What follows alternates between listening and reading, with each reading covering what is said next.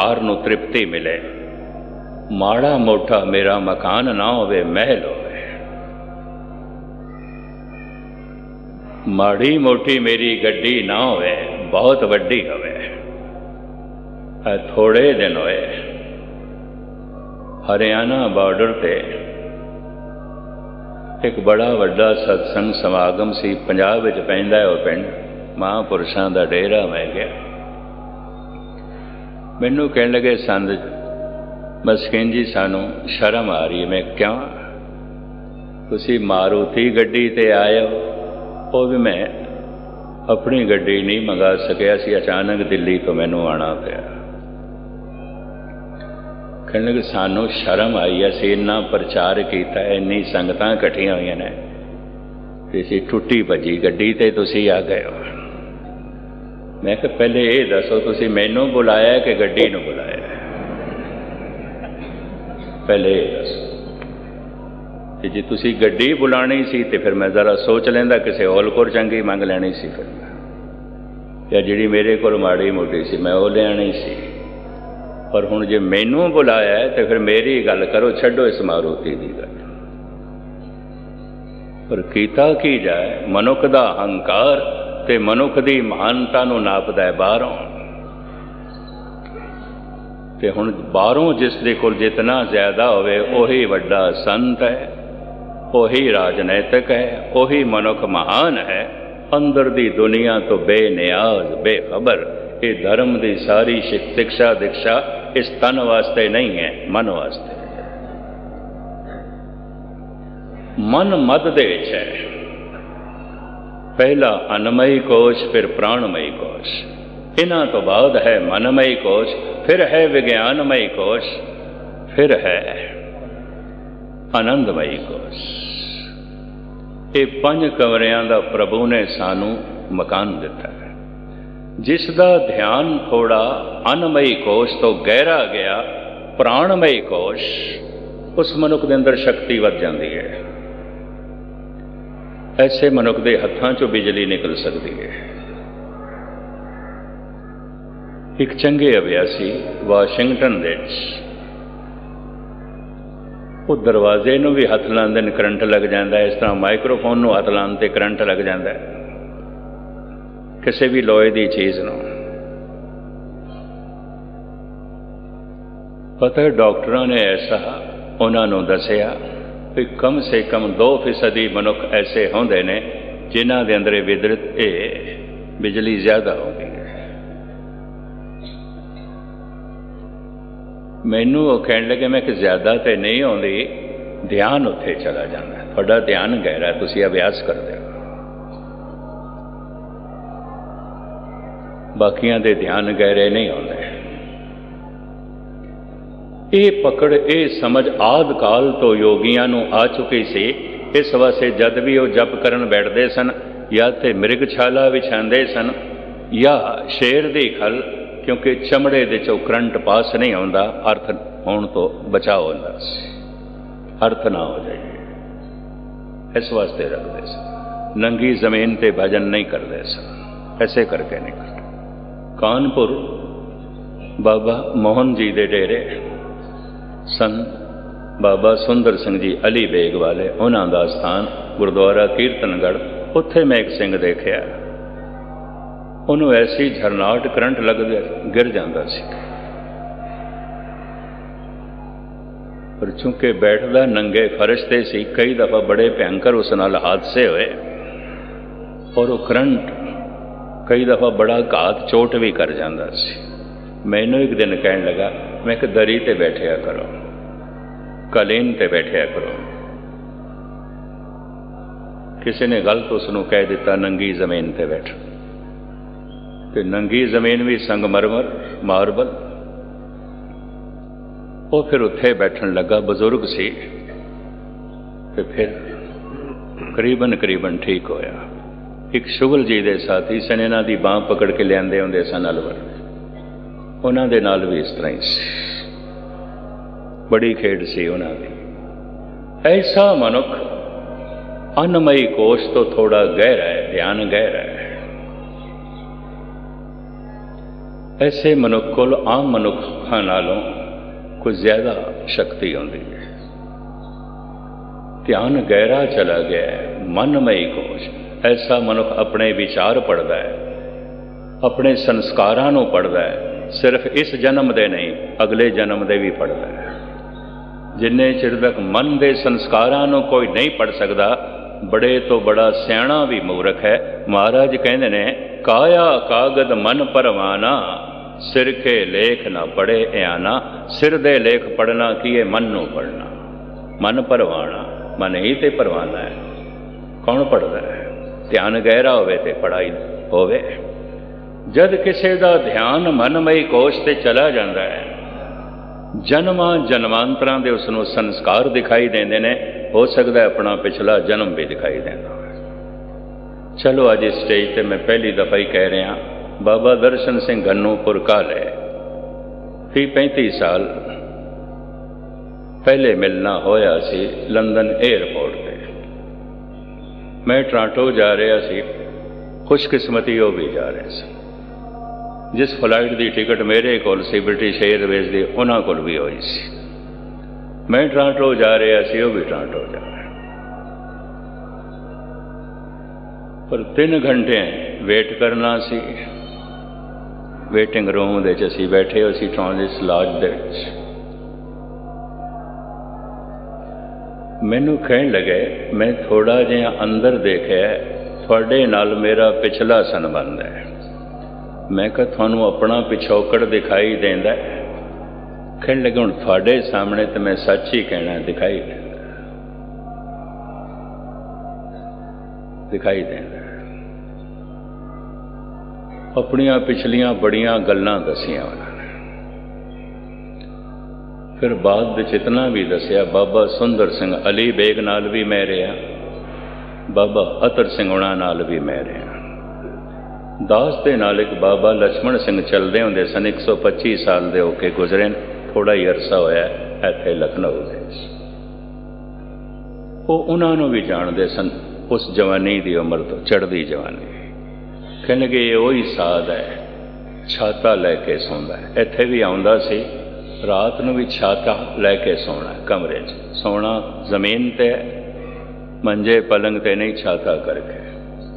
ਅਲਵਰ ਜਦ ਸਟੇਜ ਤੇ ਬੈਠਾ ਹੁੰਦਾ ਸੀ ਛਾਤਾ ਖੋਲ ਕੇ ਬੈਠਦਾ ਸੀ ਤੇ ਮੈਂ ਹੱਥ ਜੋੜ ਕੇ ਕਹਿੰਦਾ ਸੀ ਮੈਂ ਕਿ ਤਿੰਨ ਚਾਰ ਆਦਮੀਆਂ ਦੀ ਜਗ੍ਹਾ ਗਿਰ ਜਾਂਦੀ ਹੈ ਤੁਸੀਂ ਛਾਤਾ ਬੰਦ ਕਰ ਲਓ ਫਿਰ ਜਦ ਤੁਸੀਂ ਸੋਣਾ ਹੁੰਦਾ ਖੋਲ ਲੈਣਾ ਕਹਿਣ ਲੱਗਾ ਮਸਕੀਨ ਇੰਜ ਕਹਿੰਦਾ ਹੁੰਦਾ ਸੀ ਮੈਨੂੰ ਮਸਕੀਨ ਕਿਸੇ ਨੇ ਘੰਟਾ ਬੈਠਣਾ ਕਿਸੇ ਨੇ 2 ਘੰਟਾ ਬੈਠਣਾ ਮੈਂ ਤੇ ਸਾਰੀ ਰਾਤ ਬੈਠਣਾ 4 ਵਜੇ ਸਮਾਪਤੀ ਹੁੰਦੀ ਸੀ ਉਦੋਂ ਤੱਕ ਬੈਠਣਾ ਤੇ ਮੈਨੂੰ ਜਦ ਕਿਧਰੇ ਨੀਂਦ ਦਾ ਝੂਠਾ ਆਂਦਾ ਤੇ ਮੈਂ ਇੱਥੇ ਹੀ ਲੈ ਲੈਣਾ। ਤੇ ਉਦੋਂ ਨੀਂਦ ਦੇ ਵਿੱਚ ਕੌਣ ਛਾਤਾ ਖੋਲੇਗਾ, ਮੈਂ ਤੇ ਖੋਲ ਕੇ ਹੀ ਰੱਖਦਾ। ਨਹੀਂ ਬੰਦ ਕਰਦਾ। ਖੋਲ ਕੇ ਹੀ ਰੱਖਦਾ ਸਾਰੇ ਜਾਣਦੇ ਨੇ, ਅਰਦਾਸਾ ਹੋ ਜਾਣਾ, ਹੁਕਮਨਾਮਾ ਹੋ ਜਾਣਾ, ਫਿਰ ਬੋਲਦਾ ਸੀ। ਔਰ ਕਹਿੰਦਾ ਸੀ, ਜਿਨ੍ਹਾਂ ਨੇ ਜਾਣਾ ਹੈ, ਜਾ, ਹੁਣ ਸਾਡਾ ਹੀ ਟਾਈਮ ਹੈ। ਸਾਡਾ ਇਹ ਹੀ ਵਕਤ। ਹਰ ਜਗ੍ਹਾ ਦਾਸ ਦੇ ਨਾਲ ਵਰਮਣ ਕਰਨਾ ਸਮਾਪਤੀ ਤੋਂ ਬਾਅਦ ਬੋਲਦਾ ਸੀ ਬਾਬਾ ਕਰਤਾਰ ਸਿੰਘ ਜੀ ਗੋਬਿੰਦਵਾਲ ਸਾਹਿਬ ਦੀ ਜਿਨ੍ਹਾਂ ਨੇ ਸੇਵਾ ਕਰਾਈ, ਉਹ ਵੀ ਉਹਨੂੰ ਨਹੀਂ ਰੋਕਦੇ ਸਨ। ਪਟਨਾ ਸਾਹਿਬ ਸਮਾਪਤੀ ਹੋ ਜਾਂਦੀ ਸੀ, ਬਾਅਦ ਵਿੱਚ ਬੈਠ ਜਾਂਦਾ ਸੀ। ਬੋਲਦੇ ਹੀ ਰਹਿਣਾ ਘੰਟਾ, ਦੋ ਦੋ ਘੰਟੇ। ਕਈ ਦਫਾ ਕੋਈ ਵੀ ਨਹੀਂ ਆਉਂਦਾ ਸੀ। ਤੇ ਮੈਂ ਇੱਕ ਦਿਨ ਕਹਿ ਦਿੱਤਾ ਪਟਨਾ ਸਾਹਿਬ ਦੇ ਵਿੱਚ, ਮੈਂ ਕਿਹਾ, ਇੱਕ ਵੀ ਸਰੋਤਾ ਨਹੀਂ ਬਾਬਾ ਜੀ। ਕਹਿਣ ਲੱਗੇ, ਆਪ ਕਥੇ ਆਪ ਸੁਣਨੇ ਹਾਰ। ਆਪ ਕਹਿਣਾ ਹੈ, ਆਪ ਸੁਣਨਾ ਹੈ। ਜਾਓ ਤੁਸੀਂ ਜਾਓ। ਤੁਸੀਂ ਇਸ ਤਰ੍ਹਾਂ ਦਾ ਮਸਤ ਫਕੀਰ ਸੀ। ਉਸ ਦੇ ਪਿਛੋਕੜ ਬਾਰੇ ਵੀ ਉਹ ਜਾਣਦੇ ਸਨ। ਮੈਨੂੰ ਕਹਿਣ ਲੱਗੇ, ਤੁਹਾਡੇ ਨਾਲ ਚੱਲਦਾ ਮੈਂ ਕਿਹਾ ਬਹੁਤ ਮੁੱਦਤ ਤੋਂ ਚੱਲਦਾ ਹੈ। ਕੁਝ ਦਿਖਾਈ ਦਿੰਦਾ ਸੀ। ਧਿਆਨ, ਜਦ ਮਨ ਦੇ ਤਲ ਤੇ ਚਲਾ ਜਾਏ, ਤਾਂ ਮਨ ਦੇ ਚ ਜਿਹੜੇ ਸੰਸਕਾਰ ਪਏ ਨੇ, ਜਨਮਾਂ ਜਨਮਾਂਤਰਾਂ ਮਨ ਤੇ ਗੋਡਾਮ ਹੈ। ਅਚੇਤ ਮਨ ਇੱਕ ਸਟੋਰ ਹੈ, ਬਹੁਤ ਵੱਡਾ। ਪਤਾ ਨਹੀਂ ਕਿਤਨੇ ਜਨਮਾਂ ਦਾ। ਇਹਦੇ ਚ ਸਾਜ਼ੋ ਸਮਾਨ ਪਿਆ ਕੋਈ ਇੱਕ ਜਨਮ ਦਾ ਪਿਆ ਕਦੀ ਕਦੀ ਸੁਪਨਿਆਂ ਦੇ ਰਾਹੀਂ ਉਹ ਪ੍ਰਗਟ ਹੁੰਦਾ ਹੈ। ਗੰਦੇ ਸੁਪਨੇ ਆਉਂਦੇ ਨੇ, ਭੈੜੇ ਸੁਪਨੇ ਆਉਂਦੇ ਨੇ, ਇਸ ਸਟੋਰ ਦੇ ਵਿੱਚ ਬਹੁਤ ਕੁਝ ਗੰਦ ਪਿਆ ਤੇ ਇਹ ਵਿਚਾਰ ਕਿਸੇ ਵਕਤ ਫਿਰ ਕਰਾਂਗੇ, ਕਿਉਂਕਿ ਸੂਈ ਆਪਣੇ ਢੰਗ ਨਾਲ ਅੱਗੇ ਜਾ ਰਹੀ ਹੈ। ਐਸਾ ਮਨੁੱਖ ਇਸ ਨੂੰ ਅਸੀਂ ਅੰਤਰਯਾਮੀ ਕਹਿ ਸਕਦੇ ਹਾਂ, ਅੰਦਰ ਦੀ ਜਾਣਨ ਧਿਆਨ ਇਤਨਾ ਅੰਦਰ ਚਲਾ ਗਿਆ, ਹੁਣ ਅੰਦਰ ਦੀ ਜਾਣਦਾ ਅੰਤਰਯਾਮੀ। ਧਿਆਨ ਜੋ ਇਤਨਾ ਅੰਦਰ ਚਲਾ ਗਿਆ।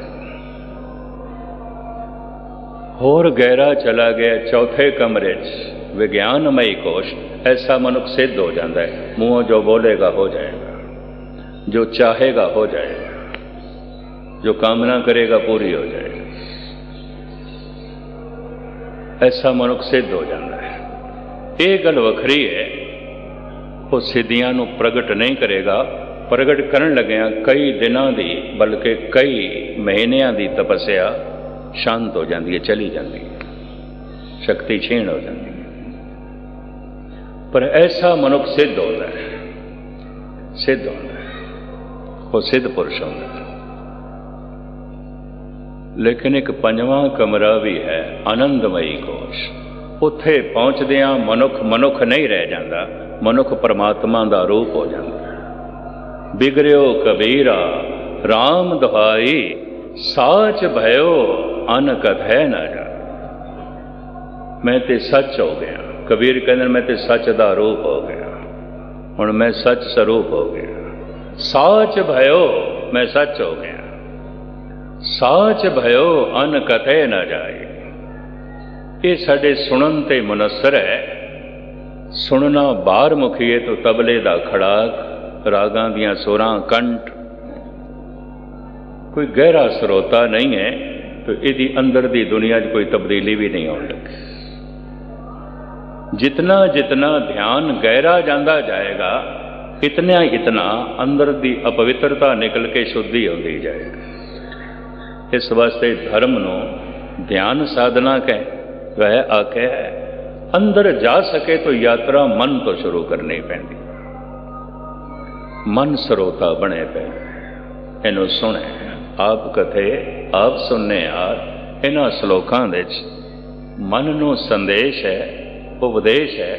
ਇਹਨਾਂ ਸ਼ਲੋਕਾਂ ਦੇ ਆਧਾਰ ਤੇ ਕੁਝ ਮੈਂ ਕਹਿਣਾ ਚਾਹੁੰਦਾ ਸੀ, ਪਰ ਸਮਾਂ ਆਪਣੇ ਢੰਗ ਨਾਲ ਚਲਾ ਗਿਆ, ਤੁਹਾਨੂੰ ਲੇਟ ਨਾ ਕਰੀਏ। ਅਖਰੀ ਅਰਥ ਆਪ ਸਰਵਨ ਕਰੋ, ਇੱਕ ਦਫਾ ਪਿਆਰ ਨਾਲ ਆਖੋ, ਸਤਨਾਮ ਸ੍ਰੀ ਹਾਂਜੀ।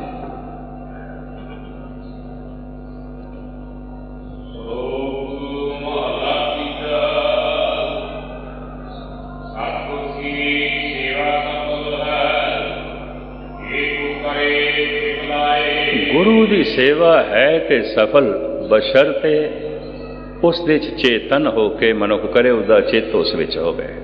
ਜੇ ਚੇਤੇ ਹੀ ਨਹੀਂ ਹੈ, ਤਾਂ ਫਿਰ ਚਿੱਤ ਦੀ ਦੁਨੀਆ ਬਦਲਣੀ ਨਹੀਂ ਕੁਝ ਵੀ ਨਹੀਂ ਹੋਣਾ। ਠੀਕ ਹੈ, ਹੱਥ ਸਫਲੇ ਹੋ ਜਾਣਗੇ। ਹੱਥ ਪਵਿੱਤਰ ਹੋ ਜਾਣਗੇ ਇੰਜ ਕਹਿ ਲਓ। ਬਾਕੀ ਅੰਦਰ ਤੇ ਗਲਾਜ਼ਤ ਬਣੀ ਰਹੇਗੀ। ਕਿਉਂਕਿ ਅਜੇ ਇਸ ਸੇਵਾ ਵਿੱਚ ਮਨ ਨਹੀਂ ਹੈ, ਤੇ ਸਭ ਤੋਂ ਵੱਡੀ ਸੇਵਾ ਕੀ ਹੈ? ਹਰ ਕੀ ਟਹਿਲ ਕਮਾਵਣੀ ਜਪੀਏ ਪ੍ਰਭ ਕਾ ਨਾਮ, ਉਹਦਾ ਨਾਮ ਜਪਣਾ ਸਭ ਤੋਂ ਵੱਡੀ ਸੇਵਾ ਇਹ ਅੰਦਰ ਦੀ ਦੁਨੀਆ ਬਦਲ ਦਿੰਦੀ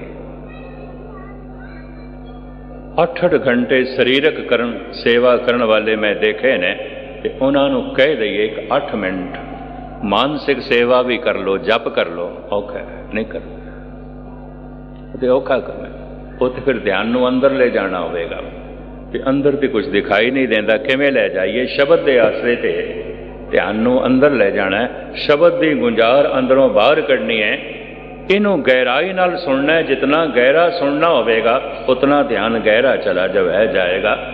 ਸਫਲ ਹੈ ਸੇਵਾ, ਬਸ਼ਰ 'ਤੇ ਕੋਈ ਚਿੱਤ ਲਾ ਕੇ ਕਰੇ, ਮਨ ਜੋੜ ਕੇ ਕਰੇ, ਹਾਂ ਜੀ।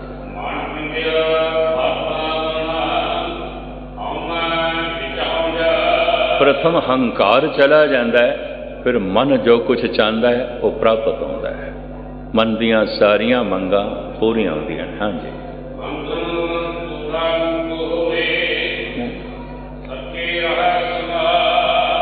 ਫਿਰ ਪੜਨਾ ਉਹ ਸਾਰੇ ਕਰਮਾਂ ਦੇ ਬੰਧਨਾਂ ਨੂੰ ਤੋੜ ਦਿੰਦਾ ਹੈ। ਸੰਸਕਾਰਾਂ ਦੇ ਬੰਧਨਾਂ ਨੂੰ ਤੋੜ ਕੇ ਮੁਕਤ ਹੋ ਜਾਂਦਾ ਹੈ, ਸੁਤੰਤਰ ਹੋ ਜਾਂਦਾ ਹੈ, ਆਜ਼ਾਦ ਹੋ ਜਾਂਦਾ ਹੈ। ਇੱਕ ਹੁੰਦੀ ਹੈ ਰਾਜਨੈਤਿਕ ਸੁਤੰਤਰਤਾ।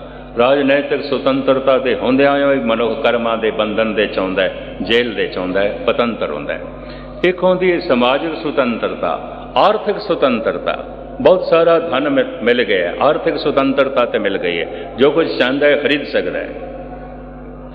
ਲੇਕਿਨ ਫਿਰ ਵੀ ਸੰਸਕਾਰਾਂ ਦਾ ਬੰਧਨ ਹੈ ਕਰਮਾਂ ਦਾ ਬੰਧਨ ਹੈ ਵਿਚਾਰਾਂ ਦਾ ਬੰਧਨ ਹੈ। ਜਿਤਨੇ ਚਿਰ ਤੱਕ ਉਹਨਾਂ ਸੰਸਕਾਰਾਂ ਦਾ ਬੰਧਨ ਟੁੱਟਦਾ ਨਹੀਂ ਇਹ ਬਾਕੀ ਸਾਰੀਆਂ ਆਜ਼ਾਦੀਆਂ ਝੂਠੀਆਂ ਨੇ, ਜਿਹੜੇ ਆਜ਼ਾਦੀ ਦਿੰਦੇ ਨੇ, ਖੁਦ ਵੀ ਗੁਲਾਮ ਹੁੰਦੇ ਨੇ, ਜਿਹੜੇ ਕਹਿੰਦੇ ਨੇ ਦੇਸ਼ ਆਜ਼ਾਦ ਹੋ ਗਿਆ, ਦੇਸ਼ ਸੁਤੰਤਰ ਹੋ ਗਿਆ ਹੋ ਗਿਆ ਹੋਵੇਗਾ, ਤੂੰ ਤੇ ਗੁਲਾਮ ਹੈ ਆਪਣੇ ਸੰਸਕਾਰਾਂ ਦਾ, ਆਪਣੇ ਵਿਚਾਰਾਂ ਦਾ, ਆਪਣੇ ਹੰਕਾਰ ਦਾ। ਆਜ਼ਾਦ ਦੇਸ਼ਾਂ ਦੇ ਵਿੱਚ ਗੁਲਾਮ ਮਨੁੱਖ ਰਹਿੰਦੇ ਨੇ ਇੰਜ ਕਹੇਗਾ ਚਲੋ, ਇਹ ਦੋ ਸ਼ਬਦ ਵੀ ਮੈਂ ਕਹਿ ਰਿਹਾ। ਹਰ ਆਜ਼ਾਦ ਮੁਲਕ ਦੇ ਵਿੱਚ ਗੁਲਾਮ ਮਨੁੱਖ ਰਹਿੰਦੇ ਨੇ। ਔਰ ਆਜ਼ਾਦ ਮਨੁੱਖ ਉਸ ਦਿਨ ਆਉਂਦਾ ਹੈ, ਜਦ ਕਰਮਾਂ ਦੇ ਸਾਰੇ ਬੰਧਨ ਟੁੱਟ ਜਾਂਦੇ ਨੇ, ਸੰਸਕਾਰਾਂ ਦੇ ਸਾਰੇ ਬੰਧਨ ਟੁੱਟ ਜਾਂਦੇ ਨੇ, ਦੁੱਖਾਂ ਦੇ ਸਾਰੇ ਬੰਧਨ ਟੁੱਟ ਜਾਂਦੇ ਨੇ, ਮਹਾਰਾਜ ਕਹਿੰਦੇ ਹੰਕਾਰ ਚਲਾ ਜਾਂਦਾ ਹੈ ਔਰ ਮੋਕਸ਼ ਗਤੀ ਦੀ ਪ੍ਰਾਪਤੀ ਹੁੰਦੀ ਹੈ। ਹਾਂਜੀ। ਇਸ ਜਗ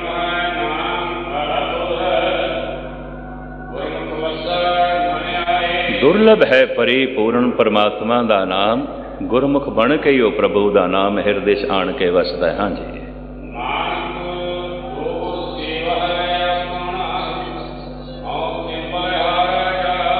ਸਤਿਗੁਰ ਦੇਵ ਜੀ ਮਹਾਰਾਜ ਫਰਮਾਨ ਕਰਦੇ ਨੇ, ਇਸ ਤਰ੍ਹਾਂ ਦੀ ਜੋ ਗੁਰੂ ਦੀ ਸੇਵਾ ਕਰਦਾ ਹੈ, ਮੈਂ ਉਸ ਤੋਂ ਸਦਕੇ ਜਾਣਾ ਕੁਰਬਾਨ ਜਾਣਾ ਬਲਹਾਰਨੇ ਜਾਣਾ ਹਾਂਜੀ। ਮਹਲਾ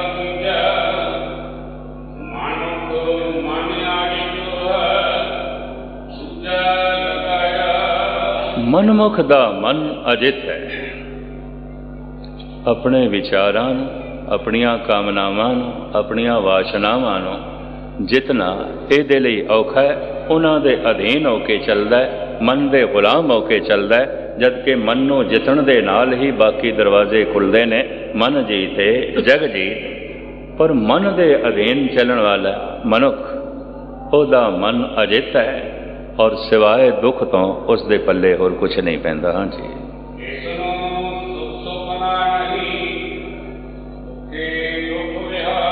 ਜਾਗਰਤ ਅਵਸਥਾ ਦੀ ਤੇ ਗੱਲ ਛੱਡੋ, ਇਹਨੂੰ ਸੁਪਨੇ ਦੇ ਵਿੱਚ ਵੀ ਸੁੱਖ ਨਹੀਂ ਮਿਲਣ ਲੱਗੇ। ਸੁਪਨੇ ਵੀ ਭਿਅੰਕਰ ਆਉਣਗੇ, ਸੁਪਨੇ ਵੀ ਡਰਾਵਣੇ ਆਉਣਗੇ, ਸੁਪਨੇ ਵੀ ਇਸ ਨੂੰ ਦੁੱਖ ਦੇਣ ਵਾਲੇ ਆਣਗੇ ਸੁਪਨੇ 'ਚ ਵੀ ਸੁੱਖ ਦੀ ਝਲਕ ਇਹ ਨਹੀਂ ਦੇਖ ਸਕੇਗਾ ਜਿੱਦਾਂ ਮਨ ਅਜਿੱਤ ਹੈ। ਹਾਂਜੀ।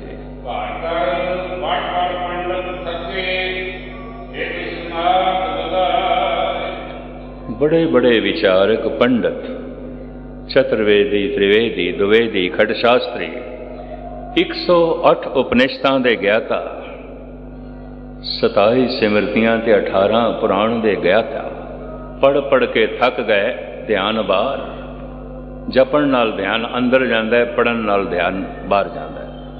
ਤੇ ਪੜੀਏ ਜੇਤੇ ਬਰਸ ਬਰਸ ਪੜੀਏ ਜੇਤੇ ਮਾਸ ਪੜੀਏ ਜੇਤੀ ਅਰਜਾ ਪੜੀਏ ਜੇਤੇ ਸਾਸ ਨਾਨਕ ਲੇਖੇ ਇੱਕ ਘਰ और हमें झकना जाग विद्वान हो जाएगा दार्शनिक हो जाएगा ਵਿਚਾਰਕ ਹੋ ਜਾਏਗਾ ਵਾਸ਼ਨਾ ਦੇ ਚ ਗਰਸਿਆ ਹੋਇਆ ਦੁਖੀ ਰਹੇਗਾ ਵਿਆਕੁਲ ਰਹੇਗਾ ਤੋ ਸਾਹਿਬ ਇੱਥੇ ਕਹਿੰਦੇ ਨੇ ਥੱਕ ਗਏ ਨੇ ਬੜੇ ਬੜੇ ਪੰਡਤ ਵਿਚਾਰਕ ਦਾਰਸ਼ਨਿਕ ਇਹਨਾਂ ਸਾਰੇ ਕਰਮਾਂ ਦੇ ਬਾਵਜੂਦ ਵੀ ਉਹਨਾਂ ਕੋਲ ਆਪਣਾ ਮਨ ਜਿੱਤਿਆ ਨਹੀਂ ਗਿਆ ਜੀ ਇਹੋ ਮਨ ਵਸ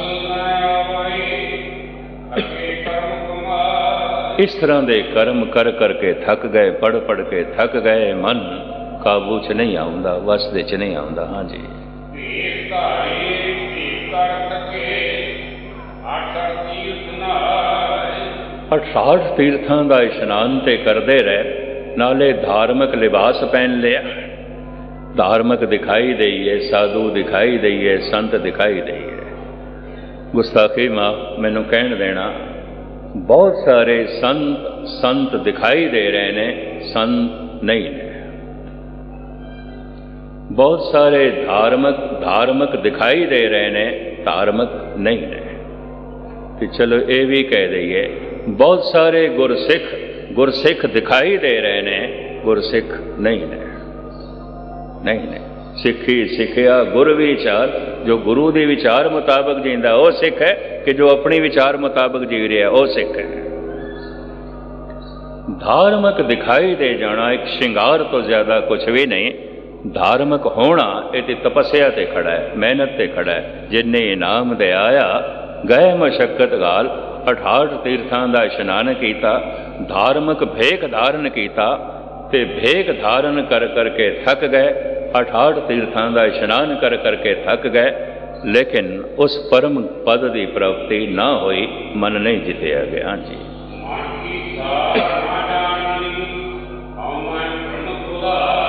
ਧਿਆਨ ਇਤਨਾ ਵੀ ਗਹਿਰਾ ਨਹੀਂ ਗਿਆ, ਜੇ ਮਨ ਦਾ ਪਤਾ ਚਲੇ, ਵਿਚਾਰਾਂ ਨੂੰ ਪੜ ਸਕਣ, ਆਪਣੀ ਸੋਚਣੀ ਨੂੰ ਪੜ ਸਕਣ ਆਪਣੇ ਸੰਸਕਾਰਾਂ ਨੂੰ ਪੜ ਸਕਣ, ਧਿਆਨ ਤੇ ਇਤਨਾ ਵੀ ਗਹਿਰਾ ਨਹੀਂ ਗਿਆ, ਭਾਵੇਂ ਧਾਰਮਿਕ ਲਿਬਾਸ ਹੈ ਤੇ ਭਾਵੇਂ ਧਰਮ ਗ੍ਰੰਥਾਂ ਦਾ ਪਾਠ ਪਟਨ ਹੈ। ਹਾਂਜੀ। ਗੁਰ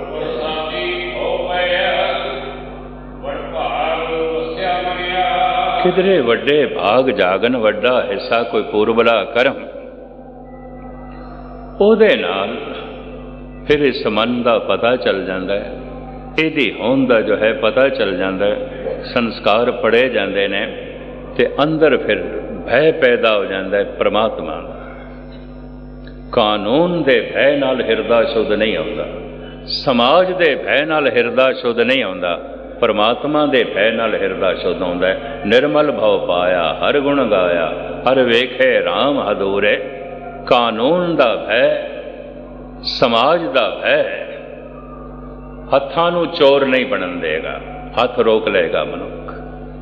ਵੀ ਹੱਥਕੜੀਆਂ ਨੇ ਤੇ ਸਮਾਜ ਚੋਰ ਕਿਧਰੇ, ਚੋਰੀ ਕਰਦਿਆਂ ਪੜਾ, ਪਕੜਿਆ ਜਾਏ, ਫਿਰ ਉਹਦੀ ਕਿਹੜੀ ਦੁਰਦਸ਼ਾ ਹੁੰਦੀ ਹੈ ਉਹ ਤੇ ਸਾਰਿਆਂ ਨੂੰ ਪਤਾ ਹੈ।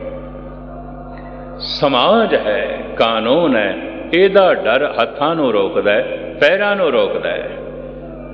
ਪਰਮਾਤਮਾ ਦਾ ਭੈ ਮਨ ਨੂੰ ਹੀ ਰੋਕ ਦਿੰਦਾ ਹੈ, ਮਨ ਬੁਰਾ ਸੋਚਦਾ ਹੀ ਨਹੀਂ। ਮਨ ਆਪਣੇ ਤੇ ਬੁਰਾ ਮਿਟਾਣਾ ਹੱਥ ਤੇ ਬੁਰਾ ਤਾਂ ਕਰਨਗੇ ਜੇ ਪਹਿਲੇ ਮਨ ਬੁਰਾ ਸੋਚੇ। ਪੈਰ ਤੇ ਗਲਤ ਪਾਸੇ ਤਾਂ ਜਾਣਗੇ ਜੇ ਪਹਿਲੇ ਮਨ ਗਲਤ ਸੋਚੇ। ਹੱਥ ਤੇ ਸ਼ਰਾਬ ਦੀ ਬੋਤਲ ਤਾਂ ਪਕੜਨਗੇ, ਪਿਆਲਾ ਤਾਂ ਪਕੜਨਗੇ, ਤਾਂ ਪੀਣਗੇ, ਪਹਿਲੇ ਮਨ ਇਸ ਦੀ ਵਿਚਾਰ ਕਰੇ। ਮਨ ਚੋਂ ਇਹ ਵਿਚਾਰਾਂ ਹੀ ਨਿਕਲ ਗਈਆਂ। ਪ੍ਰਭੂ ਦਾ ਭੈ ਮਨ ਚੋਂ ਬੁਰਾਈਆਂ ਨੂੰ ਕੱਢ ਦਿੰਦਾ ਤੋ ਤਨ ਤੋਂ ਆਪੇ ਨਿਕਲ ਗਈਆਂ ਕਾਨੂੰਨ ਤੇ ਸਮਾਜ ਦਾ ਭੈ ਹੱਥਾਂ ਤੋਂ ਬੁਰਾਈਆਂ ਕੱਢਦਾ ਮਨ ਤੋਂ ਨਹੀਂ ਕੱਢਦਾ। ਇਸ ਵਾਸਤੇ ਬੜੇ ਬੜੇ ਸ਼ਰੀਫ ਮਨੁੱਖ ਮਨ ਦੇ ਤਲ ਤੇ ਬੁਰੇ ਆਉਂਦੇ ਨੇ। ਬੜੇ ਬੜੇ ਨੇਕ ਮਨੁੱਖ ਮਨ ਦੇ ਤਲ ਤੇ ਪਾਪੀ ਆਉਂਦੇ ਨੇ। ਬੜੇ ਬੜੇ ਸਤਸੰਗੀ ਮਨੁੱਖ ਮਨ ਦੇ ਤਲ ਤੇ ਕੋਈ ਚੰਗੇ ਨਹੀਂ ਆਉਂਦੇ। ਉਹ ਤੇ ਪ੍ਰਮਾਤਮਾ ਤੇ ਭੈ ਤੋਂ ਬਿਨਾ ਮਨ ਚੋਂ ਬੁਰਾਈ ਨਿਕਲ ਹੀ ਨਹੀਂ ਸਕਦੀ। ਕਾਨੂੰਨ ਤੇ ਸਮਾਜ ਦਾ ਭੈ ਹੱਥਾਂ ਚੋਂ ਬੁਰਾਈ ਕੱਢ ਦਿੰਦਾ ਹੈ। ਪਰਮਾਤਮਾ ਦਾ ਭੈ ਮਨ ਚੋਂ ਹੀ ਬੁਰਾਈ ਕੱਢ ਦਿੰਦਾ ਹੈ। ਤੋ ਸਾਹਿਬ ਕਹਿੰਦੇ ਨੇ ਕਿਧਰੇ ਇਸ ਤਰ੍ਹਾਂ ਦੇ ਭਾਗ ਹੋਵਨ ਤੇ ਪਰਮਾਤਮਾ ਦਾ ਭੈ ਪੈਦਾ ਹੋ ਜਾਏ।